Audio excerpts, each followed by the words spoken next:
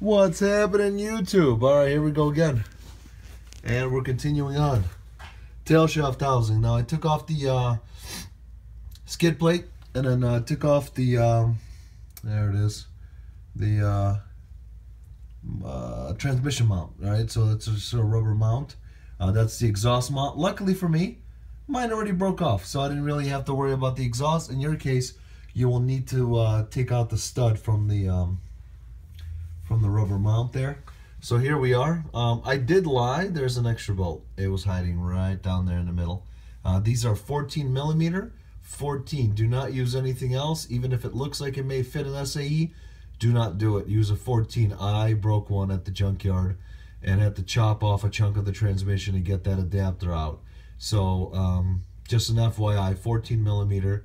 Um, I use a shallow socket, deep socket. All it's going to do is screw up the bolt. So bolt, bolt, bolt, bolt, bolt, and then there's two more on the other side, of course.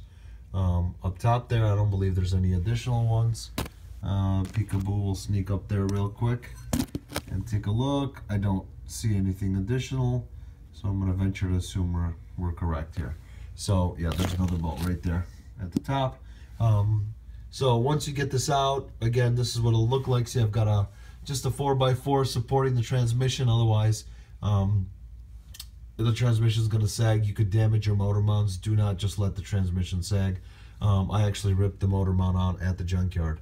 Um, and then, um, as I was telling you, I did, unfortunately, um, where's my studs here? Where's that son of a gun?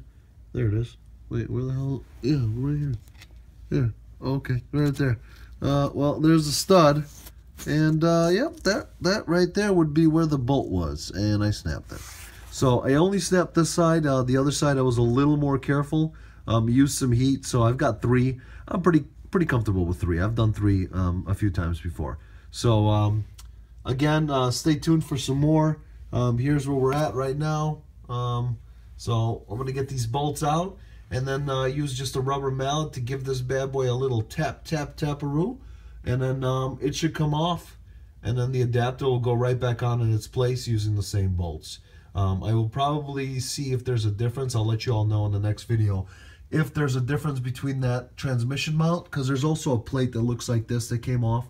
This plate came off separately right down here from the um, tail shaft housing um, with two bolts and then the same size two bolts took that off. Um, you see one of the bolts right there um, from this plate um, which is also bolted up here.